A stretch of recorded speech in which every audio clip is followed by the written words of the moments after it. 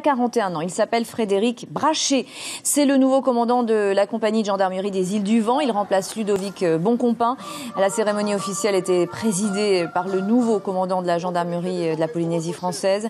Frédéric Brachet est titulaire d'un DESS de droit et stratégie de la défense et il arrive de Rennes. On l'écoute, il répond à Jacques Damour.